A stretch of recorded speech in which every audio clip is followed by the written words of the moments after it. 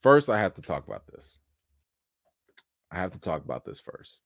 Um, and I have to talk about it mainly because I have the feelings that uh, a lot of people are probably going to ask me about it, um, or at least, you know, bring it up in some way. So I'd like to address this, um, you know, before anyone does, and just kind of get it out the way.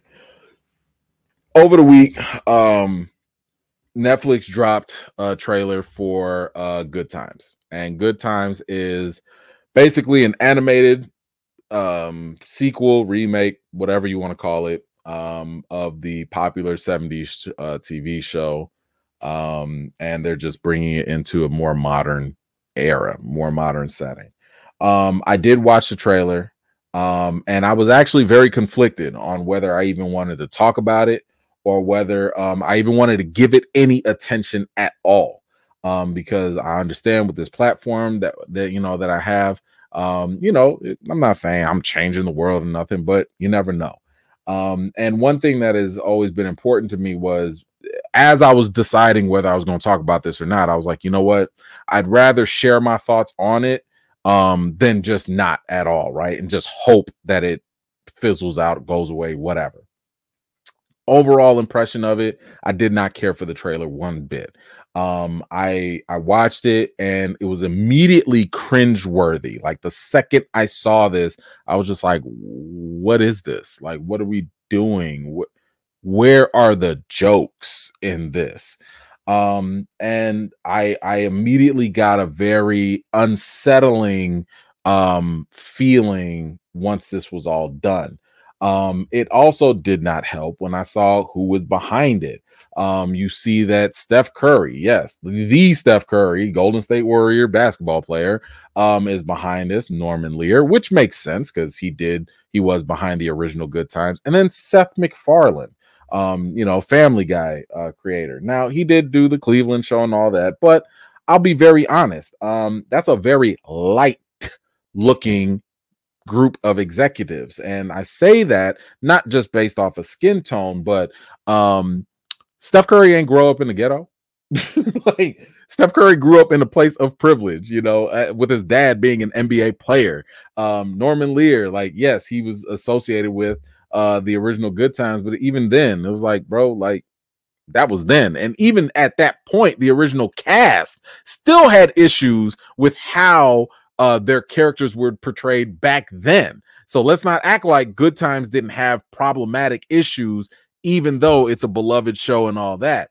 And Seth MacFarlane, bro, you're another white guy. Like, what are we talking about here? Now, I did do a little research and I saw that, um, yes, it's an all black cast. Yes, you also have uh, the writers behind this, the showrunners, they are black, but that does not always mean very much. I mean, it's a step. It's at least better than having a bunch of non-black people talk about this.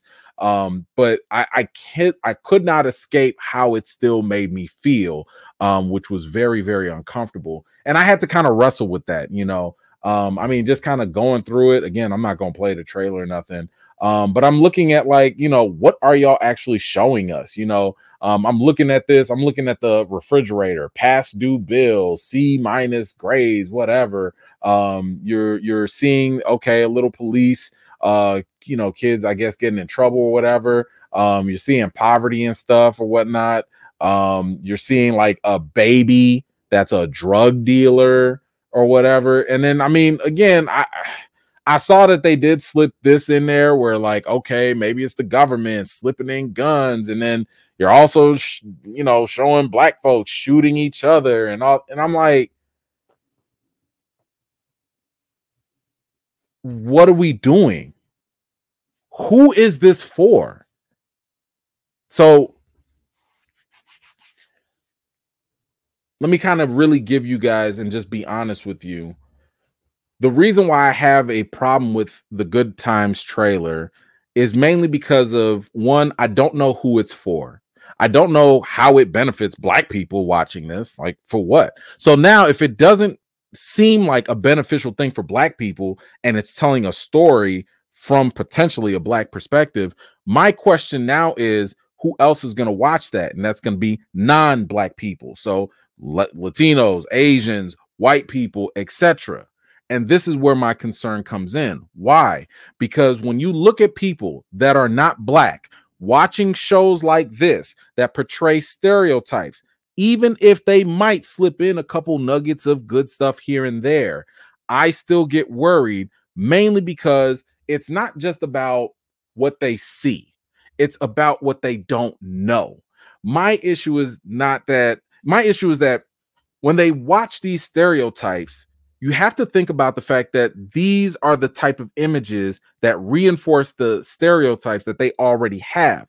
And why is that a problem? Because a lot of these non-black folks that watch these things, they don't have a close proximity to black people to counteract those stereotypes. They might claim to have black friends, but guess what? Your associate, your acquaintance at work or at school, that's not the same as a black friend. I'm talking about somebody that y'all hang out all the time. Y'all talk on the phone. You know their personal secrets, their history, whatever.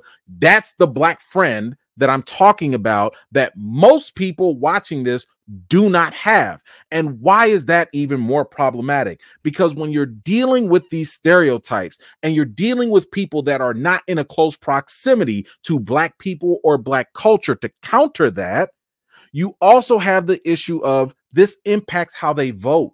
This impacts which politicians they support. This impacts what rights get taken away. This impacts what resources become limited in certain areas. This impacts what laws will get passed or not get passed. You even see this when it comes to being uh, international, when you go across, uh, you know, to international waters. You go to other countries and all they have are the movies, the rap music, hip hop, whatever, um, the TV shows, and that's all they have to say this is what African American black folks in America are like. Because that's it. That's this that's the closest proximity they have to it. So is this good time show going to bring down the black community? Is it going to, you know, uh, um, be the downfall of black folks in America? I highly doubt that. But it does make me question how does it help and who does it help?